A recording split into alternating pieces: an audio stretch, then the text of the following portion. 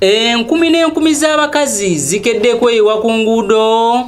Okwekalakaasa mu bukiikakkono bw'ekibuga harati mu ggwanga lya afghanistan nga bawakanya ekyokugibwako eddembe lyabwe ery'okusoma n'ery'okukola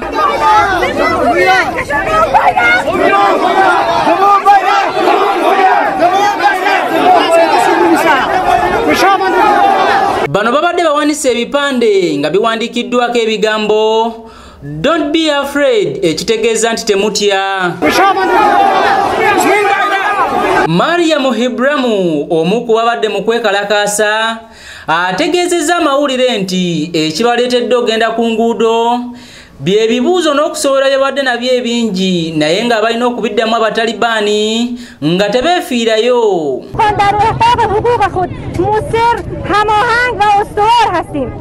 طی هفته های اخیر تا کنون خبری از امکان حضور زنان در ادارات دولتی و خصوصی abakyala bano bamaze sabbiiti nnamba nga boogera ne gavumenti y'abatalibaani okubaddiza eddembe lyabwe naddala ery'okukola n'okusoma Naye ng'abatalibaani tebaddamu. Kino kyaddirira oluvannyuma omu ku yali omusomi w'amawulire ku ttivi enkulu mu afghanistan okuwumuzibwa ku mulimu. Agand says the Taliban ordered her employer, Tolo News, to enforce all women to wear a hijab and that female anchors were suspended in other stations. mu lukuŋŋaana lwa bannamawulire ng'abatalibaani baakawamba obuyinza baategeeza nti abakazi n'abaana ab'obuwala baakukkirizibwa okukola n'okusoma kyokka ne kaakati tewalina kimu kyatereddwa mu nkola.